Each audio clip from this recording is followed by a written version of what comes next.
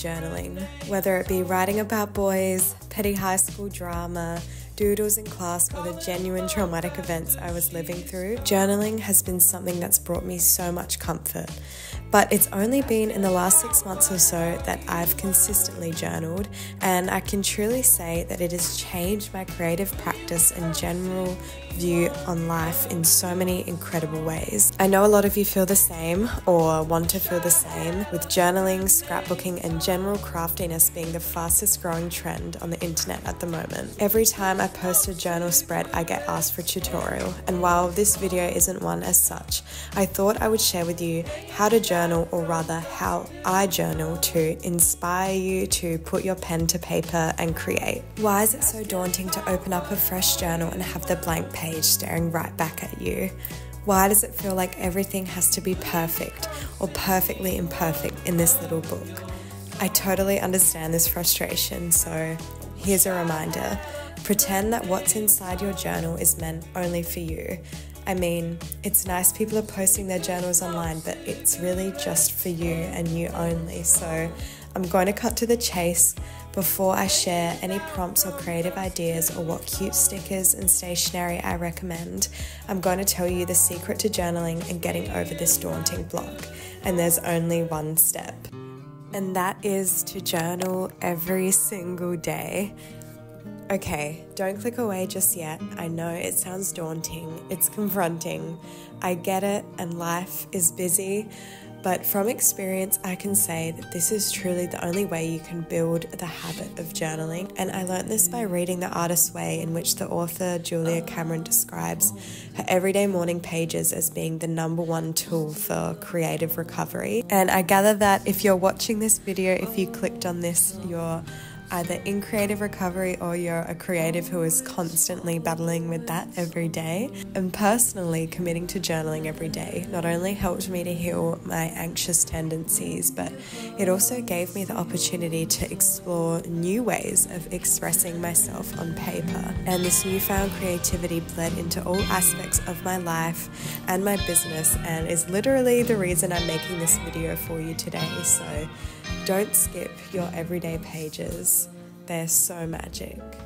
Okay, before we get into it any further, let's go into the tools. What journal am I using? What pens am I using? Because I know you guys want to know that. Before I tell you, I just want to say you do not need anything fancy to journal. In keeping with the journaling everyday basic rule, all you need to journal is a pen and paper. Whatever you have around you, a serviette, your lipstick, literally anything. But if you're like me and you find it really fun to go shopping for stationery supplies and all of the cute things, I'll tell you guys what I use. I'm literally about to finish my journal, so I'm gonna go and buy a new one in the next couple days. I think I'll vlog that on my TikTok. Let me show you guys the journal that I've been using for the past three journals now that I've fallen in love with. So this is the Leuchtturm or Leuchtturm, I'm not sure how you pronounce it, 1917 a5 journal and I use a blank journal. Now I'm kind of gone in between dotted or blank in the past. I am definitely not a lines girly. I'm not a grid girly. It just depends on you, what you prefer. Okay, but let me take you through the specifications of this journal and why I like it so much because you might be thinking, how is this different to, you know, your regular Moleskine, etc. I mean, it is pretty similar to a Moleskine, um, but I will note that Moleskine only does soft cover or hard cover. This is technically hard cover, but it has a bit of malleability to it, which I really, really enjoy. Like it just feels really nice and it's not like too hard. And I don't know, the Moleskine soft covers are just too soft for me. I like my porridge just right. And the other thing is, is they have this little strap around the front so you're not losing your bits and pieces that you keep inside. They have a beautiful pocket at the back for you to keep little, you know, bits of paper, stickers, etc. inside. And it's also fun to look back on your old journals and see what kinds of random stuff that you've kept. The pages are numbered very subtly on the sides and the paper itself is a nice like creamy white, but not too creamy. It's just, It's just perfect. I'm not exactly sure of the GSM of these pages. They are quite thin, I will say that, but that's to be expected. However, I do know that this brand has started doing journals with a higher GSM you prefer, if you're using markers, paint, things like that. Um, they also come in some amazing colors, which Moleskine just does not have the range of colors that Loic has. I have had this lobster red. This is my personal favorite, pale pink. I might honestly get another one of these. Um, and then this gorgeous like plum color which everyone has been loving. Okay, I know you're gonna want me to talk about where I get my stickers and things. That's coming, but we need to talk about pens first. People have their preference on pens, okay? Um, but this is mine. I just get my pens from Muji. It is pretty simple. Kind of go through the size, um, but usually in between 0.7 and 0.5 depending on my mood. They also make these pens in a dark brown which is really, really nice. Another thing to mention about this brand of journal is that they also sell these little um, pen holders that you can stick into the back of your journal, which the Muji pen fits perfectly inside. So that's really nice. These are a match made in heaven. All of my other stationery like pens and stuff that I have I got in Japan and I keep it really simple guys honestly. I just have these really cute mini scissors which have little Sumikko Gurashi on them. Mini glue stick you can get these and the little glue tapes. I've run out of mine from Daiso. This journal clip I got in Japan for when you need to hold your pages open, but you can use any like bulldog clip that you have lying around the house. And then some other random colored markers, but honestly, I don't know, I don't use these that much. I keep it really, really simple, just with my standard Muji pen. Do not need to buy expensive markers or pencils or anything, especially if you like um, the style that I do for journaling, which is that really sketchy, playful, childlike style. Do not go out and buy expensive markers. And in terms of storage for all of my supplies, I've got some fun bits to share with you guys. This gorgeous glittery box here is from Kmart, would you believe it? It was less than $10 and it opens up and it has a bunch of tiers that I store um, all of my little scrapbooking like journaling supplies and stickers. Then I have a couple of pencil cases. This one here is what I use when I'm just, you know, at home. Um, it's my Estala Luna mini case. I'm obsessed with the little pink gingham interior. It's so cute and this fits so much. And then for traveling, I just have this mini thin pencil case, which um, I decorated with all of the pins that I bought in Japan and I think that's perfect. And something like this that's really like slimlined and sleek is really good for traveling because you only want to be taking your essentials with you. Okay, stickers, etc. Let's get into it, guys. I know I get so many questions about this and I don't know, most of you probably know the answer already, but I get most of my stickers from Martina Calvi or Martina Martian on Instagram. She just has the cutest collection of stickers. If you've been following along, you would know that we actually released a little collab sticker sheet together, which I'm so proud of, and it's still available up on my website. I don't have that many left, and once they're gone, they're gone. Definitely check that one out. I ship worldwide as well. Once I get back from Italy, I can't wait to make my own little sticker sheets. Excited about that. But in the meantime, I actually created this print at home scrapbooking sheet, which you can also get on my website. It's just a downloadable link, affordable, and it means that you have this file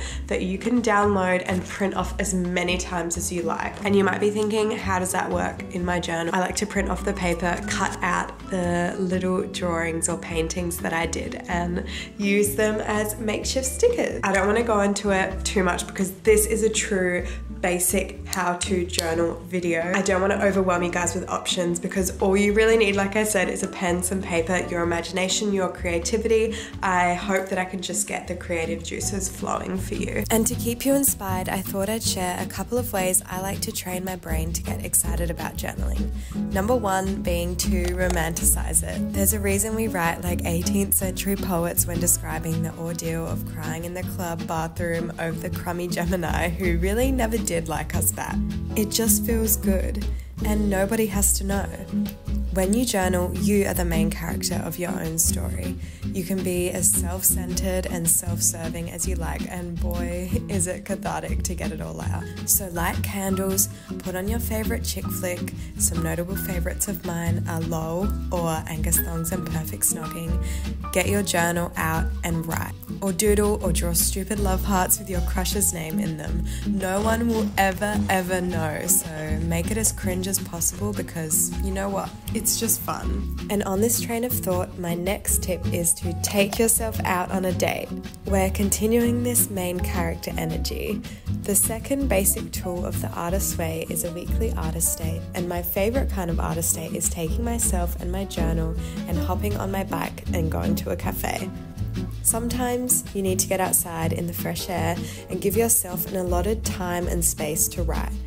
Because you've come all this way, it's harder to give up. Oh, and pretend you're at a cafe in Paris or something, people watching.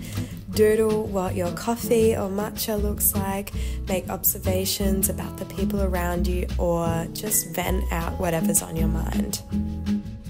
Okay, so by now, I hope you guys are inspired to start journaling or to continue journaling and use it for a tool to broaden your creative practice. So now I'll share with you guys the different ways that I like to journal. Someone who is really not organized in their journaling in any sense of the word, but I do it consistently, so it might seem like I'm organized. I will let you guys know that I use one journal for everything for my to do lists, for my daily pages, for my mood boards, scrapbooks, you name it. Everything is messily in here, and I like it that way. It is a snapshot of my life at that time, to do lists and all, like messy parts and all. Not every page looks beautiful, like there are gonna be empty pages. There's going to be, oh, at the back of this one, there are just some, some ugly pages that are just to-do lists, but that's what makes a journal a journal. It doesn't have to be perfect. So the first way that I like to journal, the way that kind of catapulted my social media is through my mood board journaling. You guys might have seen some of my mood boards before on your Instagram reels. This journal is when I really started doing my little mood board and I actually started doing journal mood boards as a response to prompts from the Artist Way, which I spoke about earlier in this video, as a way to kind of document and imagine my dream life, things that I want to achieve, the kind of vibe that I wanted to be feeling for that moment in time. This was my first ever journal post that I made, and I was so, so proud of it. Started something new for me. So with your journal mood boards, I mean, there are no rules again whatsoever, but I kind of like to focus on one theme, whether it be what I want to be wearing this month, who I want to be this month, what I want to be feeling like inside in the next week. Usually I will print out some photos, kind of do a combination of my own photos or photos from Pinterest, but Pinterest is my number one friend when it comes to this.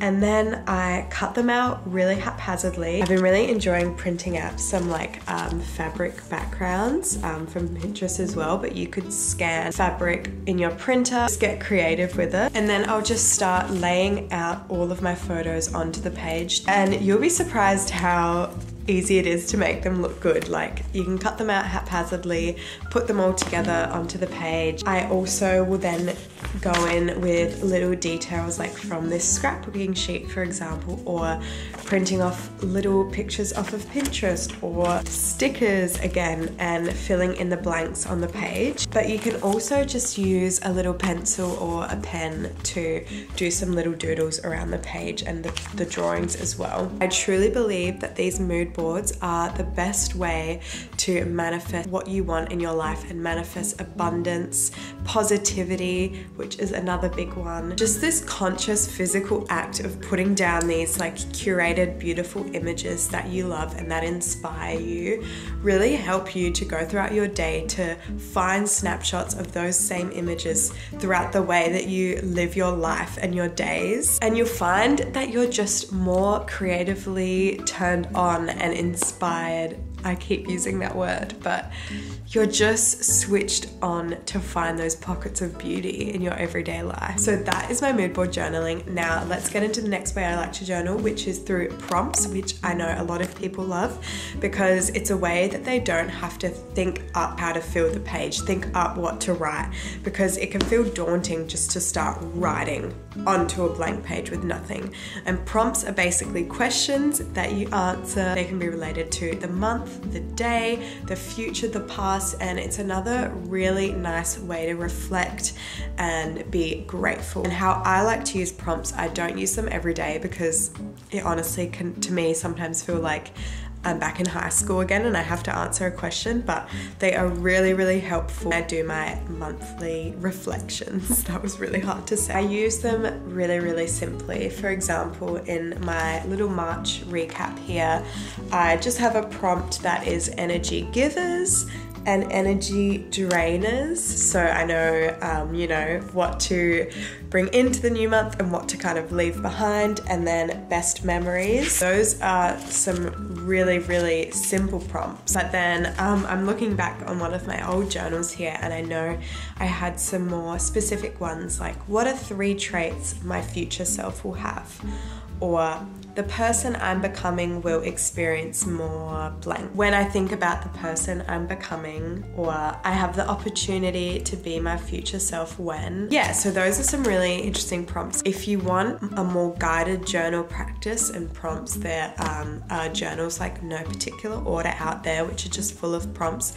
Or I highly, highly, highly recommend for you to get the Artist Way because it's basically just a bunch of prompts um, that you have to complete each week. And the final final way that I like to journal is just my everyday dribble. Okay, guys, I don't know. Um, you might not have this personality, but I certainly do. I could write about myself and my life for hours on end. Your journal is the one place that you can be completely self serving, okay? Nobody's gonna know. And in fact, I encourage you to be um, because it's like a form of therapy. You get to get everything out there and onto the page. I know I spoke about it a little bit earlier in the video. So that's the majority of what my journal actually is, which is just pages and pages of me writing about my days. This is what bothered me today. I don't know what I'm gonna do today. I'm bored. And as the artist way says, doing this and writing this out, especially in the mornings, it helps remove those blocks for you and helps get you where you need to be without the overthinking. Because I don't know, I really struggled with anxiety paralysis. I'd be stuck in my bed and the thoughts were in my brain over and over and over. What am I doing? I can't do it. Instead of that, just focus on writing that all down in your journal. And you might be thinking, this is so boring, or like, I don't want to just write in my journal all this negative thoughts. You would be surprised how quickly, from even one page to the next, those negative thoughts and feelings end up turning into you pep talking yourself and giving yourself affirmations. And by the end of your entry, you might be sitting there going, Oh my God, I actually feel a lot better now. And if nothing else, if nothing else, if you feel completely terrible after that, guess what? You've written down something. You have expressed your feelings in a physical way onto the page and that is an achievement in itself. So that's everything I can think of my conclusive guide on how to journal for beginners back to basics edition. I hope I inspired you guys in some way to start journaling and I can honestly say that this is the thing that has truly changed my life that has got me to where I am today. And it's so weird to think that it was just me starting to put some things down in these books. If you have any questions at all, none, none are too big or too small because I really want this video to be a good resource for people, please put them in the comments below and I will answer all of your questions. And if you want me to do a part two on this on something more in depth, let me know as well. I'll consider that. This has been super fun and hopefully it'll be super fun to look back on um, later on in my journey. But I will see you guys in the next video. Stay tuned because the next time you see me, I'll be in Italy. Okay, love you. See you. Bye.